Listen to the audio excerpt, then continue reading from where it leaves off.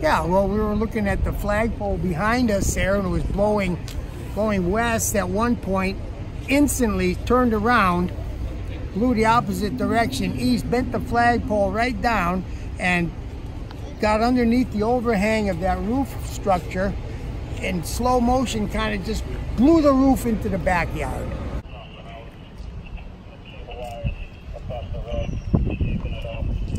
It was a roar. There was definitely a roar of the, just the wind, a real hard wind with the rain.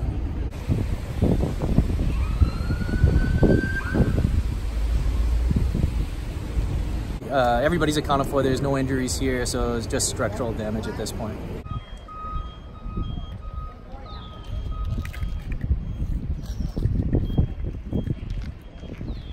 The building uh, commissioner was here, uh, and he took a view of the damage uh, to the building.